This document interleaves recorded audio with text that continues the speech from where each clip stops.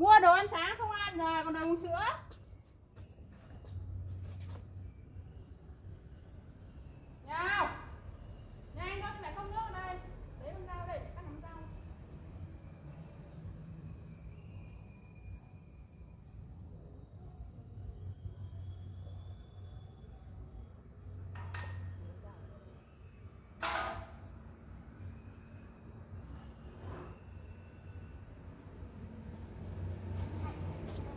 Bà đẻ dưới đất ở dưới thùng gạo rồi không nghe thấy à?